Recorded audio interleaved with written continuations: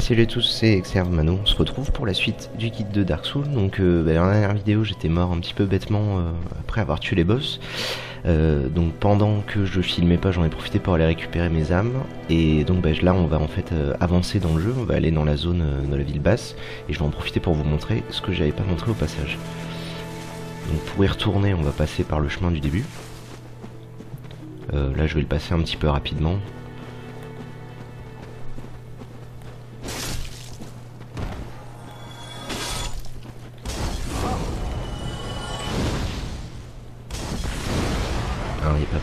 S'apesantir pendant deux heures.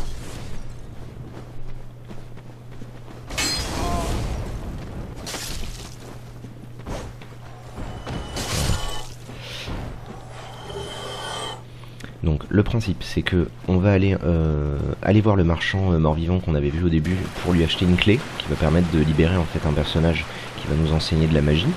Alors pas, euh, pas à moi particulièrement mais si vous ça vous intéresse bah, c'est très utile de le libérer. Voilà. On avance hein.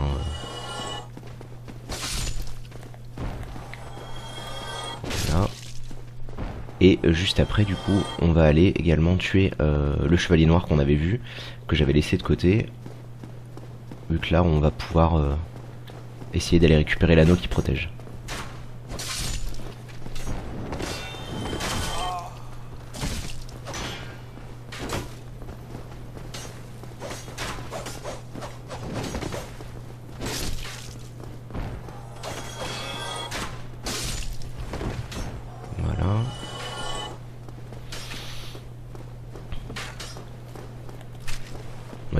C'est des passages que j'ai déjà fait, j'ai pas grand chose à en dire.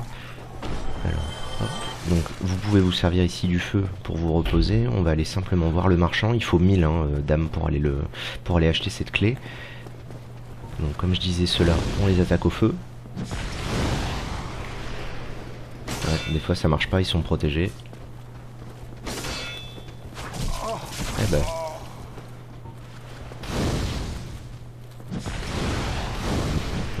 Vous les matraquez. Hein.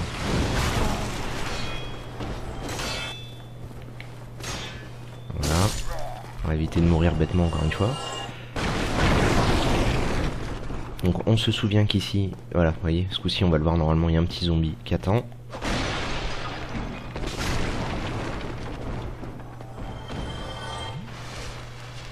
Et donc on retourne voir le mort-vivant. Et en fait, vous voyez, dans les clés, il y a la clé de la demeure. Alors en fait, ça, ça pourrait compenser le fait qu'on ait le, le passe-partout, mais malheureusement, il y a certaines clés qu'on ne peut pas, euh, certaines portes, pardon, qu'on ne peut pas ouvrir autrement. Donc au passage, euh, non, j'ai 35 flèches, ça devrait suffire. Là, vous pouvez vous acheter une autre armure si vous voulez. C'est plus pour ceux qui ont envie de, voilà, de, de jouer la collectionnite aiguë qu'autre chose parce que ça sert pas à grand chose. On va prendre euh, des bombes incendiaires, non, je vais pas en avoir besoin. Et on va continuer. Donc là, évidemment, vu que j'ai utilisé pas mal de boules de feu, euh, je vais aller me reposer au feu de camp juste à côté. Et donc en fait, c'est le c'est le premier chevalier noir qu'on va pouvoir tuer. Euh, comme je vous expliquais la première fois, en fait, c'est des, ennemis qui ne réapparaissent pas. Et lui, en fait, il protège un anneau euh, qui est plutôt utile, même si moi, je, je l'utilise pas si souvent que ça. Euh, je sais plus comment il s'appelle en français, mais c'était l'anneau du Raterne dans Demon's Soul. En gros, il augmente la défense quand vous avez plus beaucoup de vie.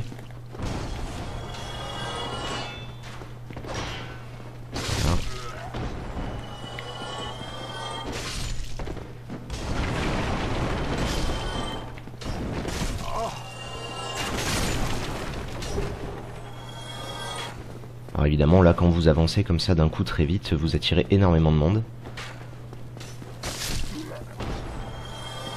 Donc vous voyez en fait l'objet est juste ici. C'est ça qu'on va aller récupérer, sauf qu'en fait il est protégé, on le voit pas, on n'a pas d'angle de vue, c'est fait exprès je pense, euh, sur le chevalier noir qui le protège. Donc plutôt que d'aller faire un, un run suicide, ce qui ne servira à rien, on va essayer d'aller le tuer tout simplement. Je me débarrasse juste des ennemis qui sont autour pour éviter une surprise dans mon dos.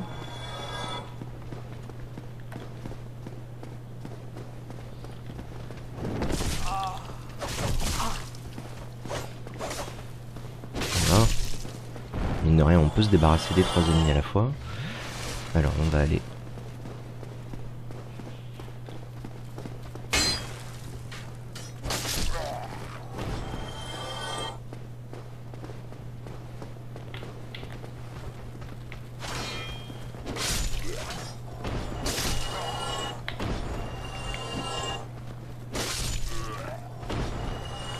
Bon, vous voyez, effectivement, euh, quand on commence à connaître, après, tout se passe beaucoup plus vite. Donc, l'ennemi en question, il est juste là. Alors, vous passez en mode feu, bien le bouclier devant soi. Faites pas de bruit, donc avancez prudemment comme ça. Jusqu'à pouvoir le cibler. Donc, à peu près au niveau du, du tonneau qui est brisé. On peut toucher une première fois.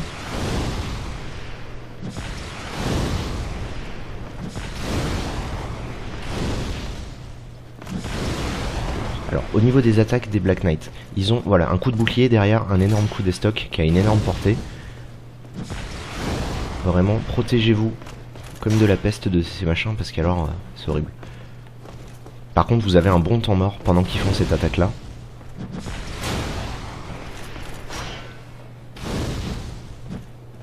Voilà, et ça vous permet de les attaquer tranquillement. Donc eux en général effectivement vous drop des éclats de titanite, c'est la version améliorée des fragments. Euh, conservez-les parce que ça servira vraiment beaucoup plus tard dans le jeu. Et ils sont, euh, assez difficiles en fait à obtenir, on peut pas les acheter. Et là vous avez donc l'anneau de pierre l'arme bleue. comme son nom l'indique pas du tout, augmente la défense quand vos PV sont bas. Donc en fait quand vous avez euh, votre barre de vie qui est quasiment au minimum, la défense augmente d'un coup, ce qui vous permet d'encaisser des coups qui normalement seraient mortels. Donc on va avancer un petit peu.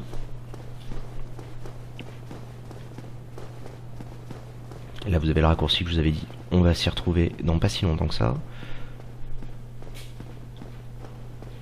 Maintenant évidemment que le boss est mort, il n'y a plus de. Il a plus de brouillard, vous courez, hein. vous embêtez pas avec les deux archers en haut. Ils pourront pas vous faire de mal. Alors après, bon, il y a le passage avec le dragon, c'est un peu particulier parce que c'est un passage qui est buggé dans le jeu. Euh, des fois, le dragon meurt si on lui tire une flèche, euh, des fois il disparaît, il réapparaît jamais, des fois il est là, mais en même temps il est invisible. Enfin, c'est bon, il y a pas mal de choses un peu étranges. Dans tous les cas, nous, ce qu'on a récupéré, c'est la clé de la cave. Donc la clé de la cave, ça ouvre juste cette porte-là, en fait. Vous voyez, là, le dragon au fond, etc. Et ça va nous permettre d'accéder à la zone en dessous. Donc vous y allez.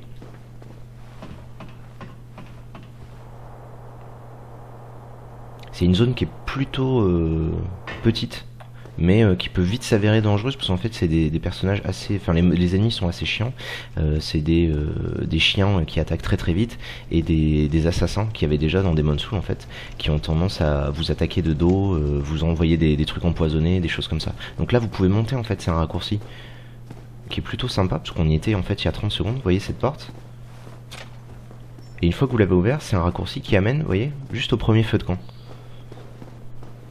juste là. Donc vous voyez que c'est assez euh, rigolo parce que tous les niveaux en fait sont reliés entre eux dans, dans Dark Souls. Au final, tout paraît très grand et euh, une fois qu'on a débloqué tous les raccourcis, on peut aller d'un endroit à l'autre assez rapidement. Là en fait, on pourrait monter au dragon et euh, se retrouver à cette porte là en, quelques secondes à peine, sans avoir à passer par le pont du dragon, etc., etc.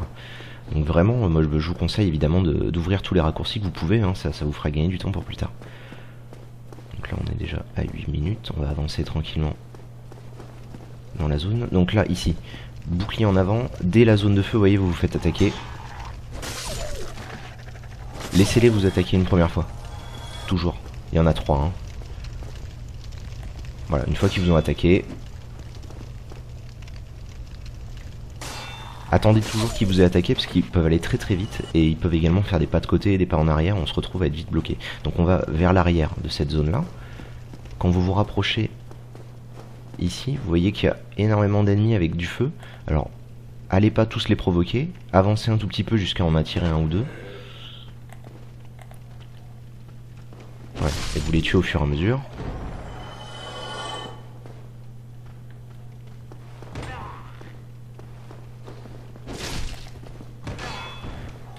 faut y aller vraiment un par un, parce que si vous essayez de tous les attaquer en même temps, euh, je peux vous garantir que vous n'y arriverez pas.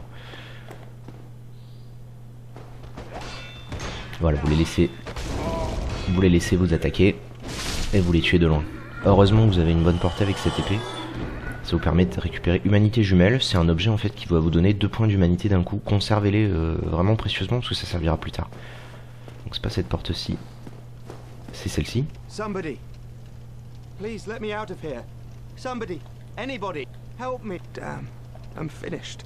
Donc là, vous voyez, hop, on peut ouvrir avec la clé de la demeure. Et vous avez donc ce personnage-là. Griggs, qui est en fait l'entraîneur pour les magiciens. Pour qu'il vous parle, par contre, il faut que vous ayez au minimum 10 en intelligence. Donc là c'est le cas quand vous commencez pyromancien, mais, mais si vous comptez effectivement jouer magicien, il va falloir investir énormément de points dans l'intelligence. Donc il vous explique qu'il va retourner au sanctuaire dès qu'il pourra. Profitez-en, comme je vous disais, quand vous voyez un cadavre dans un tonneau. Voilà, là vous avez donc la tenue du sorcier avec un catalyseur. Si vous n'avez pas commencé à jouer magicien, c'est le bon moment euh, pour, euh, pour trouver cette, cette, tenue. Ça vous permet d'avoir voilà, un petit équipement de base. Donc ici il va y avoir une embuscade. Cette porte, cette porte et cette porte. Donc en fait vous avancez. Dès que vous les entendez qui s'ouvrent, vous revenez en arrière à ce niveau-là de l'escalier par exemple, pour attirer les ennemis.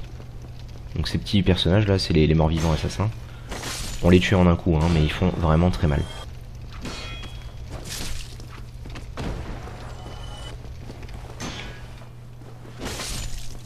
Voilà. Donc ça évite, parce que sinon bah, ils, vous apparaissent dans le dos évidemment, et là bah, vous ressemblez à plus à rien quoi. Donc profitez-en pour visiter un petit peu les différentes demeures. Il y a quelques petits objets sans grande importance, hein, euh, on va pas se mentir. Là, il n'y a rien, je crois. Là, il n'y a rien non plus. Ici, en avançant, les portes vont s'ouvrir d'elles-mêmes, donc bouclier en avant, comme d'habitude. Et il y a un chien également au fond.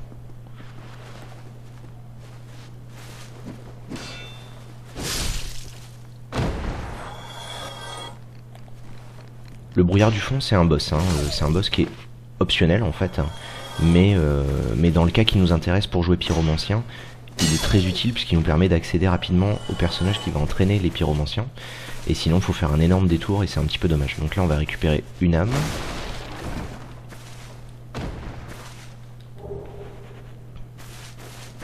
Ici également encore quelque chose, je sais plus ce que c'est. Ah oui, une armure. Là, c'est euh, l'armure de l'assassin qui est une meilleure armure hein, que celle que vous avez euh, donc euh, moi je vous conseille en fait de l'équiper puis déjà mine de rien on a un look un peu plus sympathique et ça permet en plus de garder de la mobilité, donc euh, c'est une bonne armure. Euh, pour les armures légères, je pense qu'elle est très très bien. Donc là, on continue d'avancer. En fait, on va pas aller au boss directement, parce qu'on va débloquer un autre raccourci qui est très très important. Là, vous avez un ennemi sur la gauche. Tuez-le, voilà.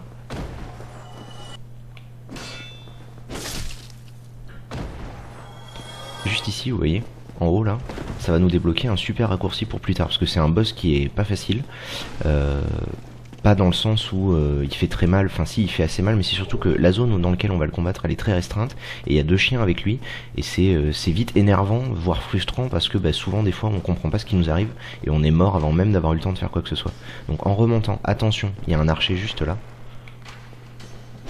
Vous pouvez le tuer ou pas, hein, il va pas vous poursuivre. Et en fait vous allez voir que c'est assez drôle puisque la zone où vous vous retrouvez, vous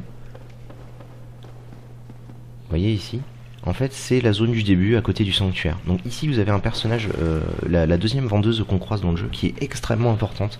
Vraiment celle-là il faut jamais la tuer. Je vais vous expliquer pourquoi. Elle vend, euh, donc déjà elle vend les pierres de purge, tout comme euh, Oswald, les, fameuses pierres qui permettent d'enlever les malédictions, mais également c'est le seul personnage qui vend tout ce qui est anti-poison. C'est-à-dire que tout ce qui est lichen, les lichens rouges, violets et violets fleuris. N'en achetez pas, mais si jamais euh, vous êtes à court et que vous voulez en avoir rapidement, c'est le meilleur moyen. Elles vend également des flèches de feu et des flèches empoisonnées. Pour les personnages archers, c'est très utile. Euh, les tourtes à la bouse, c'est assez rigolo comme nom, mais ça permet de s'intoxiquer soi-même et également les ennemis autour. Ça peut être utile en PvP. Euh, et également, donc la malédiction fugace, c'est un, un, objet qu'on utilisera uniquement dans les ruines de Nouvelle Londo, on verra plus tard.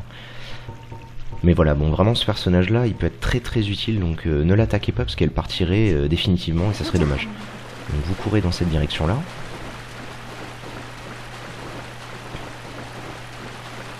Vous allez en fait débloquer le raccourci qui vous permet de revenir à l'Icheveux.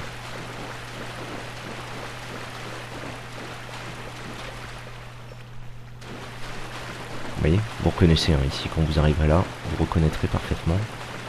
pensez bien à attaquer évidemment le zombie juste là.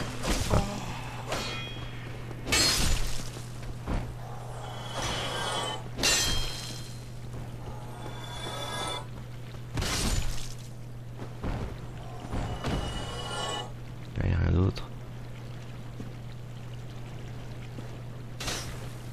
Alors on peut lui tomber dessus à lui, c'est plutôt rigolo.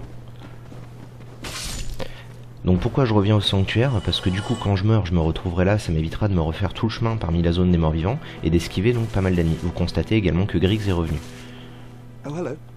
Least Vous pouvez lui dire que ça vous intéresse? Et il vous propose donc d'acheter les différents sortilèges. Donc les sortilèges, ce qui est intéressant dans Dark Souls, c'est qu'on peut en avoir plusieurs. C'est-à-dire que la flèche d'âme, elle est vendue par plusieurs magiciens, et vous pouvez en avoir du coup plusieurs pour avoir plusieurs utilisations. Euh, sachant que c'est 30 usages, on peut en avoir jusqu'à 90. C'est super parce que c'est un sort basique, mais très puissant. Euh, donc pour ceux qui sont intéressés par l'intelligence et par la voie de la sorcellerie, euh, je vous conseille vraiment d'essayer de, au maximum d'avoir plusieurs fois les mêmes sortilèges. Ça peut être très bien quand vous choisissez euh, les différents sortilèges que vous amènerez avec vous. Ça peut être pas mal d'en amener plusieurs fois le même des fois. Voilà, donc bah, rien de particulier, hein. ils vendent un catalyseur mais vous en avez un, et ils vendent par contre deux, sortes, deux anneaux très très chers, à 20 000 chacun, qui sont très utiles et vous les trouverez pas euh, ailleurs, il me semble. Je crois que peut-être il y en a un des deux qu'on peut trouver ailleurs, il faudrait que je vérifie. Mais bon, du cas, avant euh, la fin du jeu, je vous conseille de l'acheter si vous souhaitez avoir les trophées pour trouver tous les objets. Il vous explique également que son maître, Logan, euh, est caché quelque part, en tout cas retenu prisonnier, et qu'il faudra le libérer. C'est un personnage qu'on croisera beaucoup plus tard dans le jeu, mais qui, en tout cas pour les, euh, pour les magiciens, sera d'une importance extrême. Donc on va se reposer. J'ai bien noté hein, les, les remarques sur YouTube et Dailymotion, comme quoi le- le- la musique était trop forte, donc je vais essayer de baisser le son et j'espère que ça ira mieux. Donc on va revenir au boss tout simplement. Je vous expliquerai avant d'y rentrer la technique. Là je vais y aller en mode rapide, hein, on va pas passer deux heures.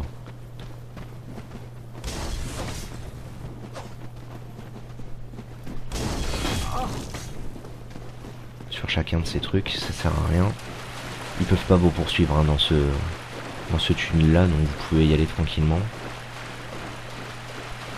Alors dans le boss contre le combat de boss contre Capra, on peut pas invoquer de, personnages non joueurs. Donc si vous jouez en ligne, n'hésitez pas à vous faire aider si vraiment vous avez du mal. Euh, mais tout seul, on doit pouvoir s'en sortir. La, condition en fait sine qua non, c'est d'avoir un bouclier qui bloque 100% des dégâts, d'avoir une barre de vie relativement conséquente et euh, bah, d'être préparé un minimum quoi. Je vais, je vais vous expliquer pourquoi dès qu'on y sera. Donc quand vous êtes ici, vous voyez que les ennemis en fait sont de dos. Si vous marchez comme ça, ils vous entendent pas. Ça peut être très rigolo, parce que c'est des personnages qui sont pas très sympas. Et en fait, vous leur avancez dans le dos. Voilà. Assassiner un assassin, ça, a un petit côté ironique très drôle. Alors ici, attention, bouclier levé, parce qu'en fait, quand vous allez arriver à l'angle, il y a les deux chiens de tout à l'heure qui vont vous attaquer. Voilà, ils sautent en général au-dessus de vous. Laissez-les faire. Et vous les désinguez. Alors, il est bien évident qu'avant n'importe quel combat de boss, vous devez commencer avec votre barre de vie complète, euh, vos équipements euh, que vous avez dans votre barre rapide, que vous connaissez parfaitement sur le bout des doigts, parce que sinon, bah, évidemment, vous allez vous retrouver à paniquer et à pas savoir quoi faire, ou à devoir ouvrir le menu pendant un combat de boss, ce qui est non pas suicidaire, mais quand même relativement risqué. Donc là, pour le coup, l'anneau de pierre lame bleue peut vous être utile, puisqu'il va vous permettre de- d'encaisser quelques coups en plus. Et donc, la technique pour ce boss là, en fait, dès que vous rentrez, vous allez voir qu'il va vous attaquer. Il va falloir courir sur sa gauche, donc sur votre droite, hein, bloquer un premier coup, ce qui va être un coup sauté. Une fois que vous l'avez bloqué, il va falloir essayer d'aller monter euh, vers un escalier et vous cacher dans un coin tout en attaquant les chiens. C'est un peu compliqué, vous allez voir en vidéo. Le but, ça va être de d'abord se débarrasser des deux chiens qui accompagnent le boss et ensuite de gérer le boss tout seul. Une fois qu'il est tout seul, il est beaucoup, beaucoup moins dangereux. Allez, ben, je vais essayer, je vous garantis pas que je vais y arriver du premier coup et je vous dis à tout à l'heure.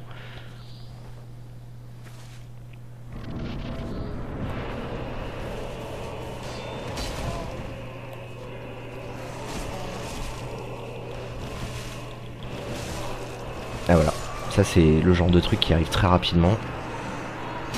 Allez, je vais recommencer une autre fois. J'ai encore le temps de réessayer encore une ou deux fois avant que le...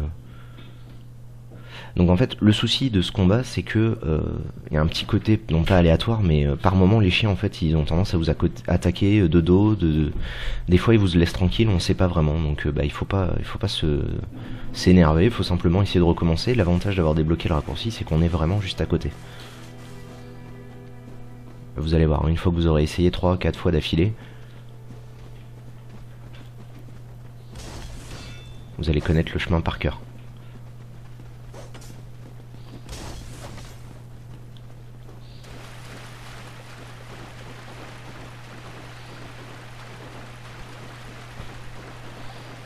Donc malheureusement pour ce boss là j'ai pas une technique suprême euh, qui permet d'aller le tuer euh, vraiment facilement. Il n'y a que cette solution d'aller se planquer euh, et j'ai pas encore en tout cas moi trouvé. Alors si vous trouvez d'autres vidéos qui vous donnent une technique, bah, profitez-en. hein. D'ailleurs n'hésitez pas à me faire parvenir les commentaires. Ça me permettrait de savoir s'il y a un truc que j'ai pas compris par rapport à ce boss là. Parce qu'après en plus en lui-même il n'est pas spécialement difficile à tuer. hein. C'est même plutôt l'inverse. Il a pas beaucoup de résistance, il encaisse très peu de dégâts.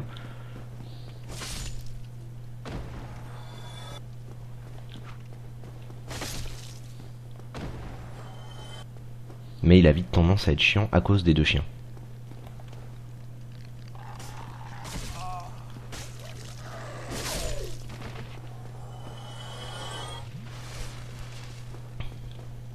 Allez, c'est reparti.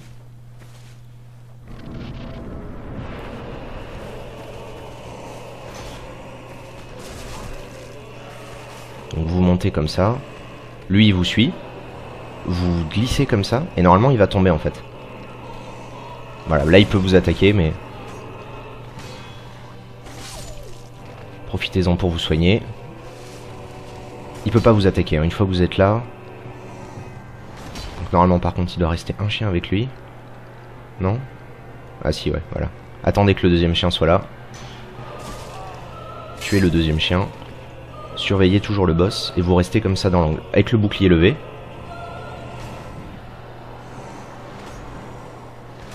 Et voilà. Quand il tombe, attaque plantée. Et vous remontez. Une fois qu'on s'est débarrassé des deux chiens, euh, le combat prend une toute autre tournure. hein. C'est impressionnant. Pensez à vous bien vous soigner pour être full vie. Attention, son attaque sautée là, il vous touche, toujours.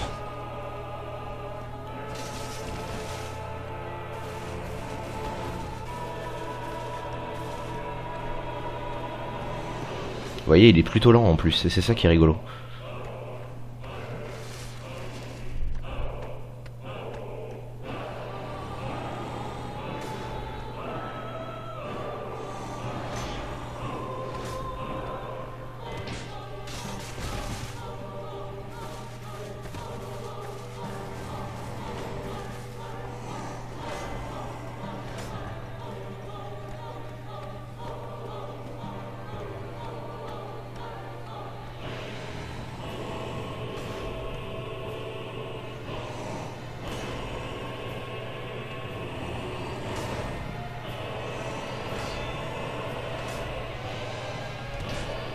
Et voilà.